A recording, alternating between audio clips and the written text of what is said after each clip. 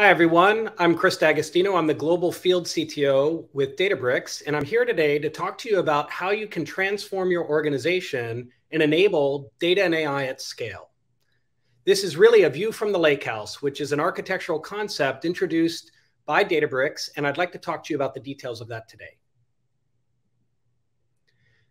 For those of you that don't know Databricks, we're a data and AI company. We were founded in 2013, and we have been on a mission to help data teams solve the world's toughest problems by allowing them to use a simple platform to bring together all the different personas within their organization to have a shared view of data within the organization and to enable all forms of analytics. And we'll talk about the details of that. We have over 7,000 customers globally ranging from the Fortune 500 to the unicorn digital native startups. And we've been recognized by Gartner as both a leader in the data science and machine learning platform, which we've been recognized for a few years now. But more recently, we've been recognized as a database management system. And that's because of the introduction of an enterprise data warehouse. So, for those of you that are in organizations that are moving data to the cloud and you're thinking about data warehouse solutions, the Databricks platform provides a unified capability for not only your machine learning and data science workloads, but for your SQL based analytics as well. The Databricks platform is built on a bunch of open source projects that we created. Databricks was uh, founded by the creators of Apache Spark, which is the de facto standard for big data processing. But as part of the investments that have been taken on by the company through venture capitalist fund raises, we've basically created a bunch of other open source projects that we uh, contribute code to. We shepherd the uh, roadmap for these open source projects, and they actually serve as the underpinnings for the platform. And those are Delta Lake and Machine Learning Flow, and then one other open source project called Redash, which provides the visualization capabilities that you'll see in the platform. You see a list of customers uh, here. These are global customers, but we actually have a lot of customers in the Asia Pacific area. And I'll talk to you just about a few of these. Uh, Grab, as everyone I'm sure knows, is um, using our platform to do customer 360 across customers in over 300 cities uh, within Southeast Asia.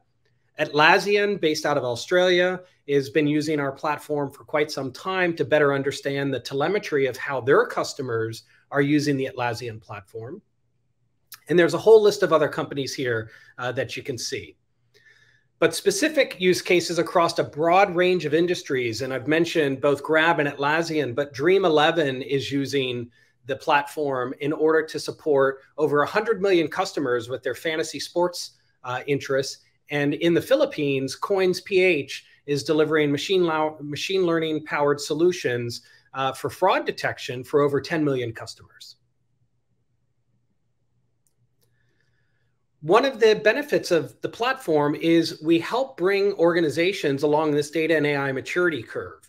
If you look at the lower left-hand corner of this graph, you'll see that that's where uh, most of the enterprise data warehouse functionality has existed for quite some time. These are represented by the dots in red. Along that curve, you generally bring in data, you cleanse it, you generate reports, you might be able to do ad hoc queries and do some data exploration, but it's really a rearward looking view of how the organization has performed. What customers are really trying to accomplish is moving to the upper right hand corner where the data and AI maturity is along the x axis and your competitive advantage uh, is on the y axis.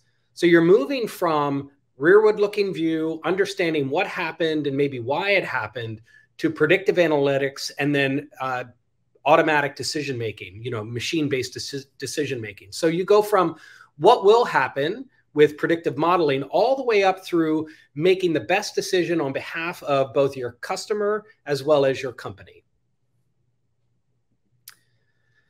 The Databricks platform actually enables you to bring data in from all different parts of your organization and start to achieve this data and AI maturity curve uh, more easily.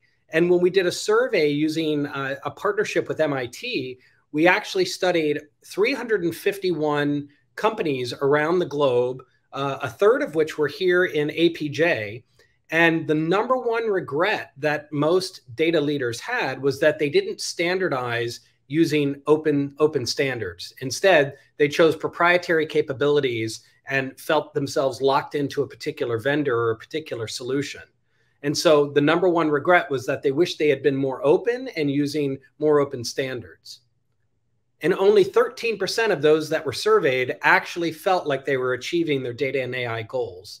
And the reason for that is because architecturally, they had a very complex architecture and they didn't actually have um, an easy path to moving from that rearward looking view and enterprise data warehouse capability to more of a forward leaning machine learning first of the companies that we surveyed, the majority of them were already in the cloud.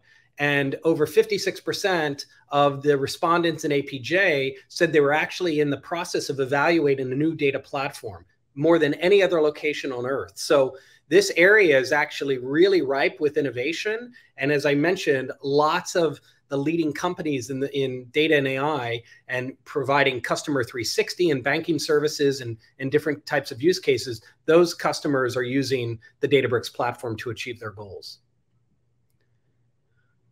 One of the things that we notice with successful companies is they have a very well-defined strategy. I won't walk you through all the steps here, but I just want to highlight a few things.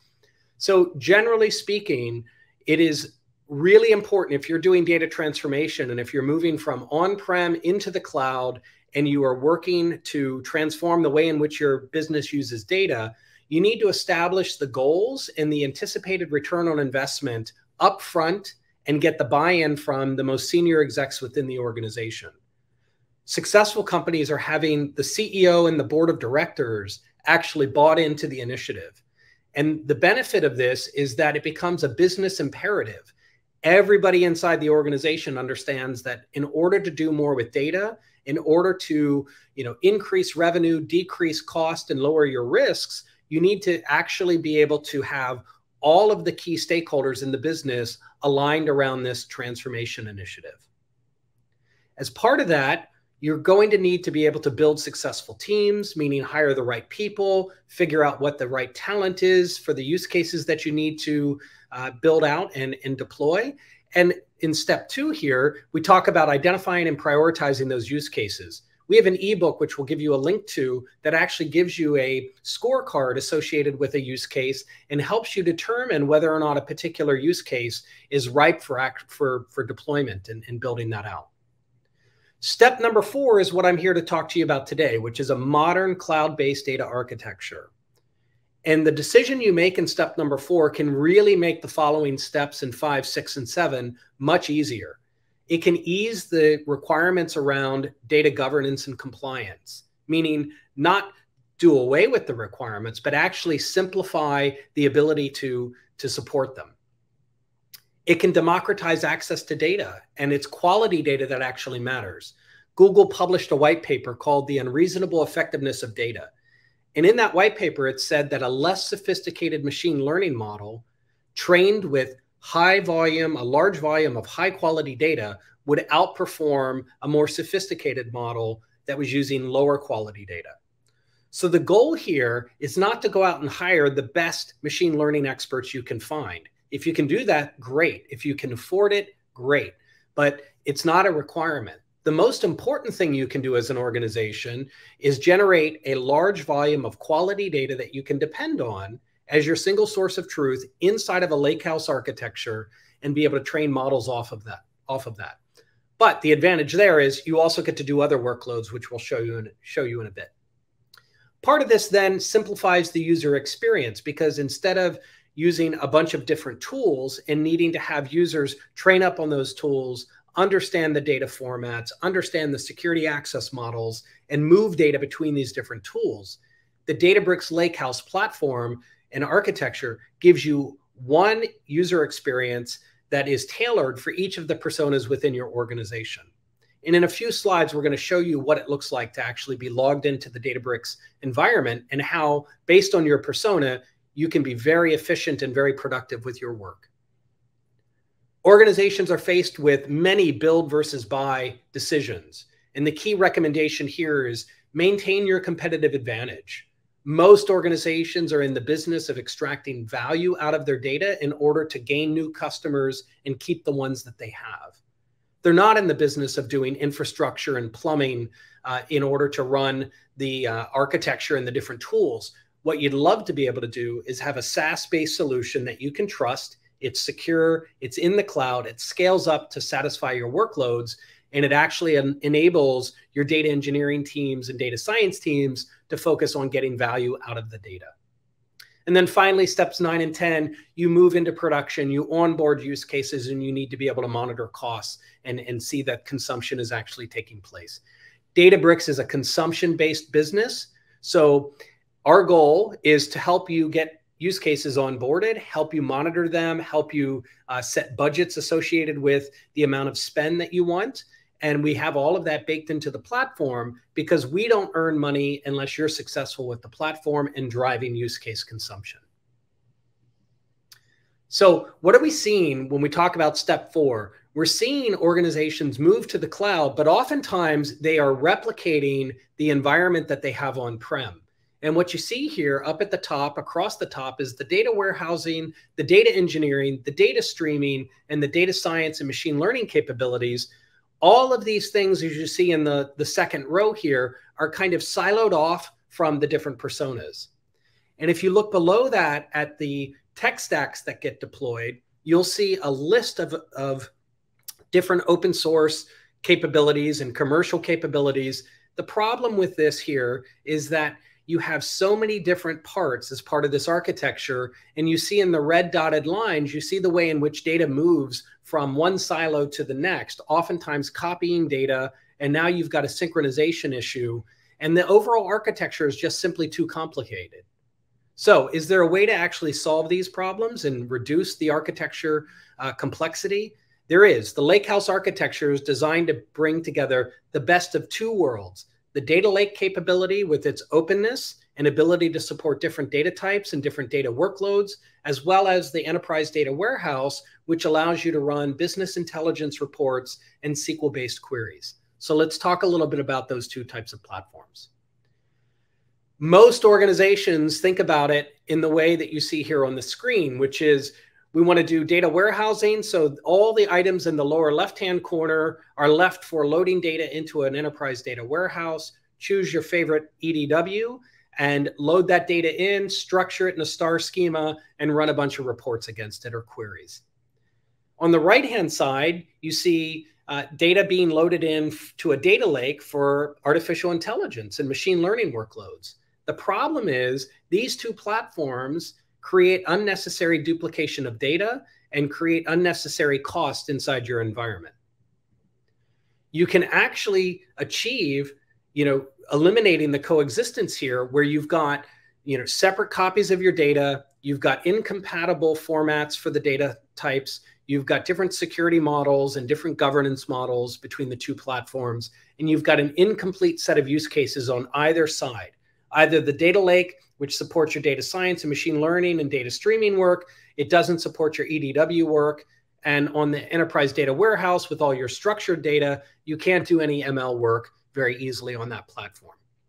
So, what we've done with Databricks and what we're excited to share with you today is the uh, enterprise data warehouse, the, the lakehouse architecture, which starts with this notion of one platform that brings together all of the capabilities that you are familiar with with an EDW and with a data lake, but through a governance model that allows you to load data into the environment. You can catalog the data using our Unity catalog. And what you see here on the screen is the ability to, from one user experience, be able to look at what data sets you have in your environment.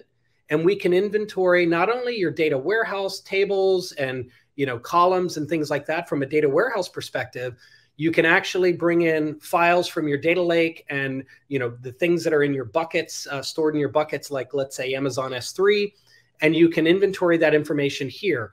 All of this data instead of it being in, in separate environments is under one lakehouse architecture and it's all backed by uh, low cost object stores. So if you're in azure if you're in google if you're in uh, in aws you use the object based storage to bring in all this data and you use the Unity catalog to be able to inventory it.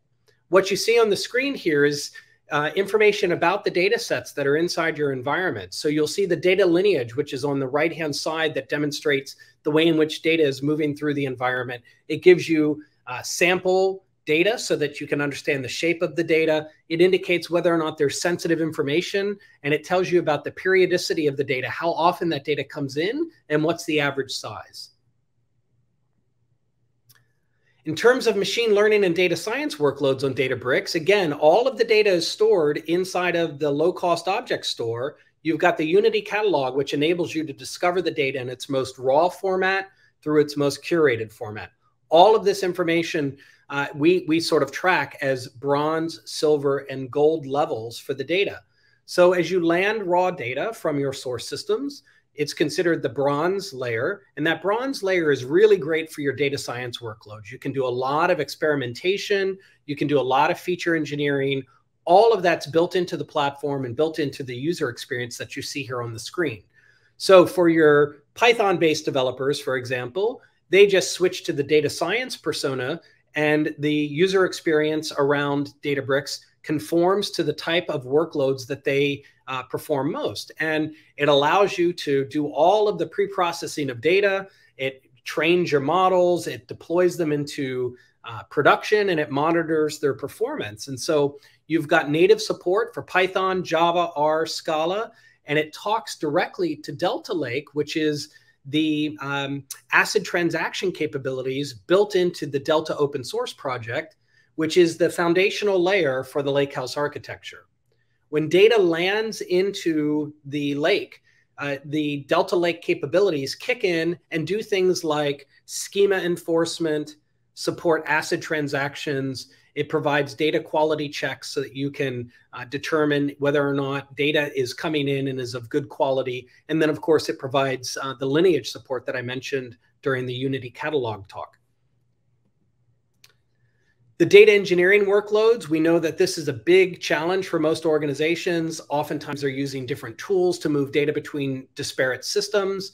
Uh, when you think about the ETL process, you think about the idea that sometimes multiple jobs have to execute in in sequence and so what happens if you've got three jobs that need to execute in order to move data from uh, one state to a more curated state what happens if job two fails how do you roll that back well delta live tables which has uh, been introduced with uh, ga release so it's uh, generally available on all the platforms you know each of the major cloud vendors and what it does is it gives you the ability to visually see how data is moving through that ETL pipeline and it manages the infrastructure on your behalf. So, should a node fail, it automatically restarts. Should a job fail, it understands what it needs to do to either roll that back or restart the job again and get it completed. And what you're seeing here on the screen is this idea that data is moving through the through the platform and you're having different capabilities or different processes act on the data and you're getting metrics about uh, what percentage of that data is good quality data so you see here 90% is, is made it through all of the data quality checks I mentioned to you that organizations tend to think about the data lake and the data warehouse as two separate platforms. Databricks has solved that with the lakehouse architecture by bringing the capabilities of the enterprise data warehouse together with the data lake capability. So SQL workloads on Databricks is now available. So you can actually have the same performance that you're used to seeing with an enterprise data warehouse with one copy of your data. So the data lands in the data lake and the Lakehouse architecture and all of the capabilities of the Delta Lake open source project as part of the Databricks platform kick in. You curate the data to its most uh, refined format. So you go from bronze to silver to gold. And when it's in that gold format, that's where you can have your star schemas that you're used to thinking about when it comes to an enterprise data warehouse. And now you see here the persona is a SQL based developer. And that interface gives you a native SQL interface for an analyst. So you're seeing the select statement build out from you know a, a table and a where clause for that predicate pushdown. All of that SQL based work, you know, SQL workbench style interaction takes place directly inside the Databricks platform. So your data engineers, your data scientists and machine learning, and your SQL analysts are all working from the same view of the data They're all inside uh, the Databricks platform and they're able to collaborate and share code. So it makes it really great for teams with different personas and different skill sets to interact. And I mentioned Redash, which is another open source project. Databricks acquired the company behind uh, Redash, and you see here on the screen the ability to generate very nice looking business intelligence reports native to the platform. So you don't need to use a third party external BI tool, but if you do, any of the major tools are designed to work with the lakehouse architecture and give you fantastic reporting capabilities as well. But we wanted to deliver a platform that actually gave you capabilities natively inside of it so that you didn't need to leave the platform uh, if you wanted to standardize on Databricks uh, throughout your organization.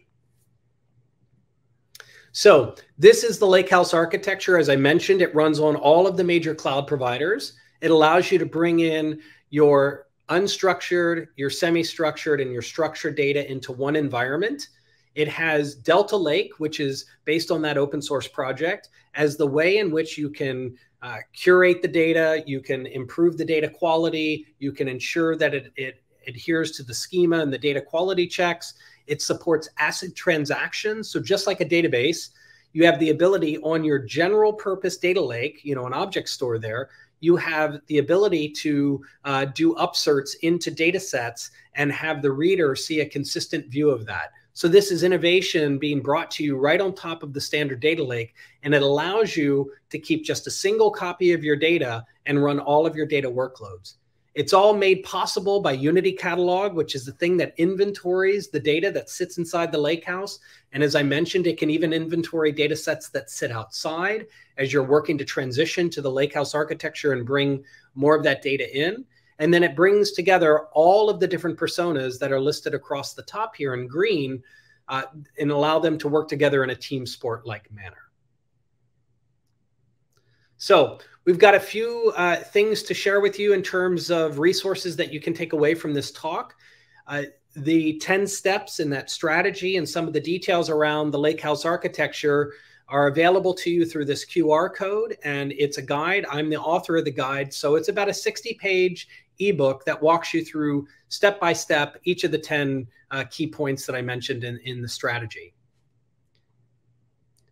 In addition, we have a series of workshops that are coming up, and you can look at very specific types of use cases from reshaping retail banking with personalization and looking at customer experiences to uh, look at fine grained demand forecasting and personalization in media and entertainment. So, this is on the 6th of May at 12 p.m. Singapore time. They're live workshops, so please look at the QR codes and and scan those and and join us. And we'd be glad to uh, to walk you through how the Databricks platform enables these different types of use cases. So that's it. That's a quick overview of the Databricks platform and happy to take any questions. Lynn, if we've got any questions that have come in, uh, be glad to answer them. Okay, um, we have a question here. How does Databricks envision the future of data and analytics in the ecosystem being built around the lakehouse paradigm? Well, thanks for the question. So, you know, we we paid attention over the last few years to the improvements that have been taking place in the hyperscaler space, right? The the ability to do parallel reads from object stores, the the fact that these object stores can have be very performant because they're using solid state disks. The network IO is has improved. And so what we've done is we've built the Databricks platform to take advantage of the changes in the underlying infrastructure and give you the performance that you've come to expect, say, from an enterprise data warehouse.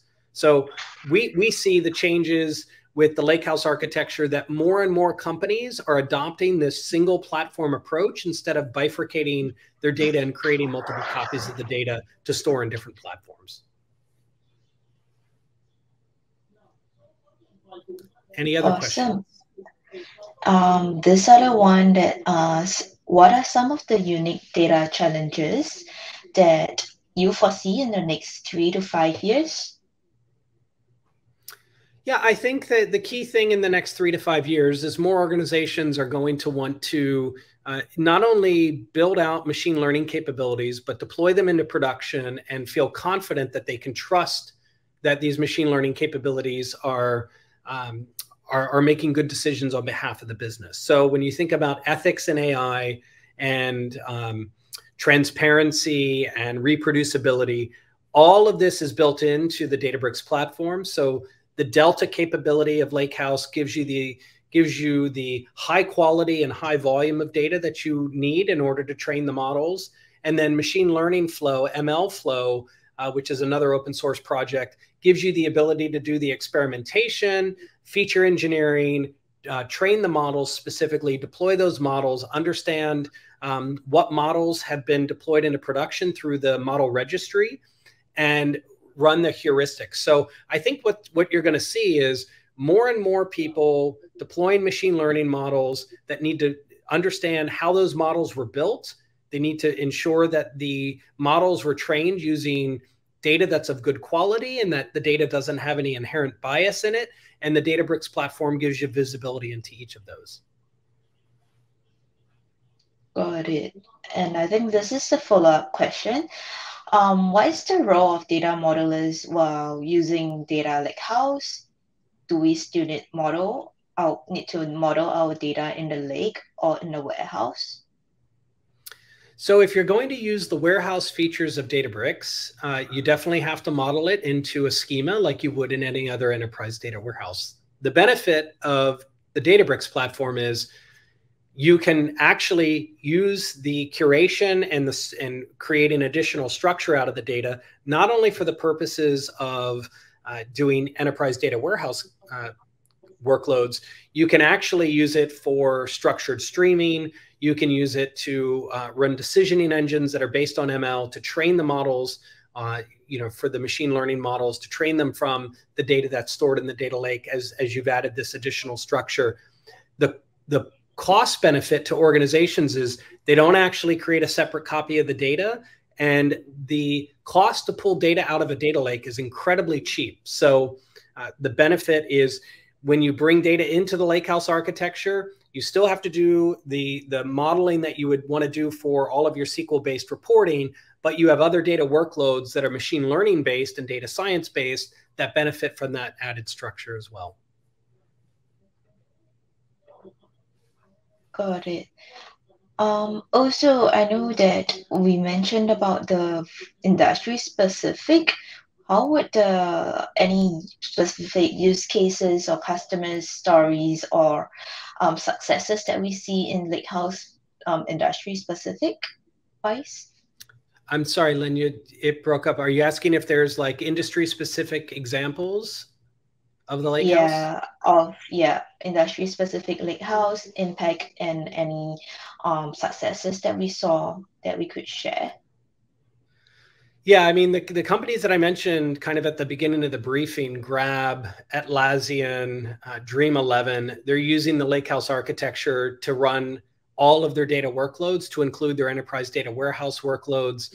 Um, we recently did an industry benchmark to demonstrate that our data warehouse capabilities uh, could perform equally well with all of the other uh, sort of standard EDWs. But the one key takeaway was we saw a 12x improvement in cost.